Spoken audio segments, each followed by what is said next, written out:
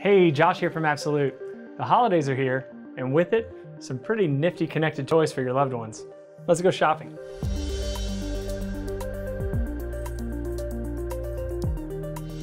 The most wonderful time of the year is here, and everyone's looking for the latest gadget or technology, almost all of which are connected. IoT devices already impact our lives, making everything a little more convenient and a lot more fun.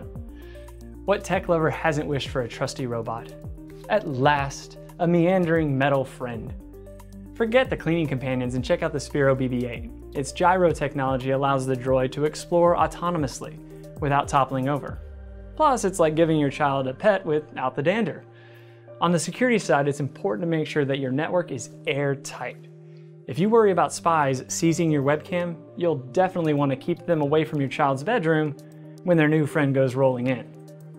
Wearables usually conjure images of watches and glasses, but this is where you really need to know your audience.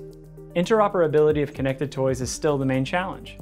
If you're eyeing the Vuzix Blade or a watch with a heart monitor, getting the right data into the right places is a security black box. It's one thing to see your text a few centimeters from your eyeballs. It's another to have a log of the streets you visited while spreading fruitcake cheer. Keep your data protected by using only trusted networks, encrypt all your personal information, and seek the advice of an expert physician before diagnosing yourself. Then there are smart speakers like Amazon Alexa, Google Assist, and Wink to help us get more done. Who hasn't wanted to be Batman with an Alfred? But be careful before escorting them into the Batcave. The other challenge is more mundane. These hubs need to interoperate across platforms, so make sure your choice will support your favorite content and other things that become spokes on the wheel. Everything that matters most to those on your nice list, which comes down to trusted access. Access control is a primary concern for anyone who cares about privacy and security.